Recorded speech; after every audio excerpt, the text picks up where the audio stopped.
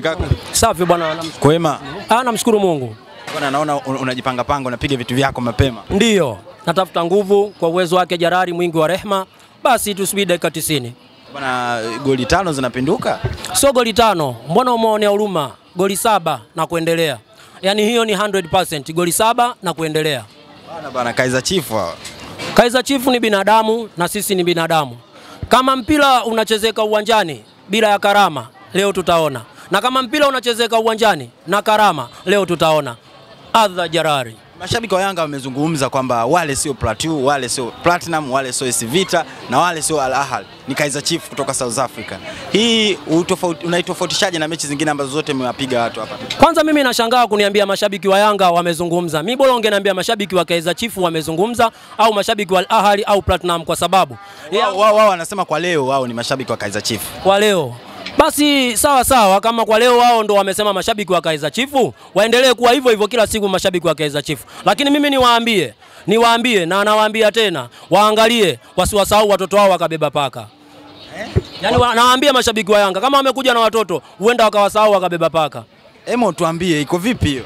Iko vizuri kwa sababu gani? Uwanja umetawaliwa na Simba Sports Club, rangi nyekundu na nyeupe, na kama unavyojua Jumamosi, kwa sisi watu wa vitabu, kwa sisi watu wa vitabu, Jumamosi ni siku ya kafara. Kwa hiyo waangalie, waangalie wasije wakaacha watoto wao wakabeba paka. Wanasema mnaloga sana brother. Sio uchawi tu, maana uchawi hauchezi na mpira mguuni uwepo, na ukiwa na uwezo na confidence kubwa, na naamini wachezaji wa Simba jinsi walivyopangwa tangu mechi iliyoisha kutoka kule South Africa mpaka sasa hivi tulivyojipanga vizuri, mi naamini kabisa tutawafunga, kwa sababu uchawi hauchezi bila wewe mchezaji kucheza kwa makini. Mwisho wa siku sasa unaambia nini sasa mashabiki wa Simba ambao ndo wanajipanga kuja uwanjani na kuja kuhakikisha timu yao inapata matokeo leo? Mashabiki wa Simba, angalieni kama tiketi bado hazijaisha, nunueni, njoeni uwanjani. Leo kuna burudani, kuna marwaha marwaha, yaani leo tunafarijika. Simba Sports Club leo tunafarijika, tunampiga mtu nyumbani kwetu, tena goli nyingi zenye ushindi mkubwa. Leo furaha, na nawaambia majirani wote waliokuwa karibu yangu mimi na huko mitaani waandae ndoo za maji za kunimwagia, kwa sababu leo nataka nioge hadharani. Shukrani kaka, umejipanga kaka? Kama kawa wewe mwenyewe unaelewa, sisi hatukwami hapa kwa Mkapa. Sasa hatukwamagi. magi. Watu wanazungumza wanasema ni kweli Simba kwa Mkapa atoki mtu, lakini goli tano, je, itawezekana? Hawa nakwambiaje washaisha. Yaani hapa wenyewe hawaje Kaizer Chiefs hawajijui wako jinsia gani ya kike au ya kiume mpaka hivi sasa.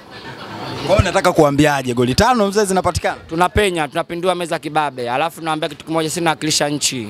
Serikali yote inaangalia hili jambo la leo. Na ndio maana imetu, imetu, imetupa imetulia radhi, imetuambia nendeni watoto wetu, nendeni wanetu mkapambane, ila nahitaji leo mtoke kimasomaso, na tunawaambia leo ni sikukuu ya taifa.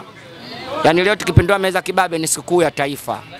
Ya, mashabiki wengi wa Simba wanaamini pengine maneno ya Haji Manara pengine yanachangia wao kuamini kwamba inawezekana kumbe kupindua meza hiyo. Kwako binafsi, ukikaa mwenyewe mpira, yani tukizungumza mpira, unaamini hizo goli Inawezekana, inawezekana wao wametufunga nne, walikuwa walikuwa waamini kama sio watafunga. Wangapi tumefunga nne hapa?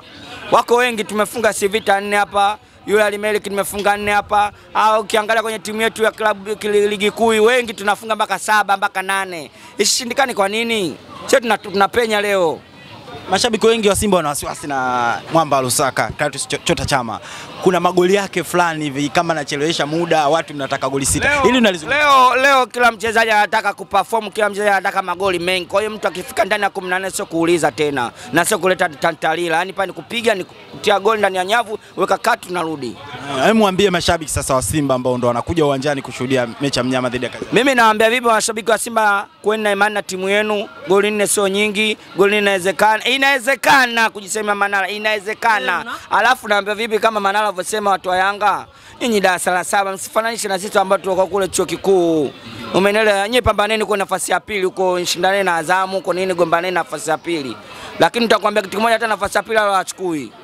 Bwana bwana, mechi ta, bado mna mechi nao. Mimi nakwambia nafasi ya pili achukui, mimi bora ni mbebe Azamu anifunge awe nafasi ya pili, afu tuende naye kule kimataifa. Mimi naenda tena uje mwakani, sawa, ila Yanga bado wanakuwa bado kwenye utopolo wao huko chini huku. Unawaambia nini sasa ambao wamekuja kushabikia leo Kaizer Chiefs leo? Wanasema Kaizer Chiefs ni ndugu zao. Waje waje, kwa sababu wanakuwa wanajaga sana pa, ila wasione aibu, wanaondoka kabla ya mpira haujaisha. Waje wavae jezi zao, ambao hawana uzalendo wavae jezi zao, sisi tutawapokea, waje tu, ila bali wataiona. Bwana, shukrani sana. na wanaambiaje, hata vyumba hata, hata draft na vyumba lakini halina dalali wala halina mpangaji na vipangishwi na vipangishwi.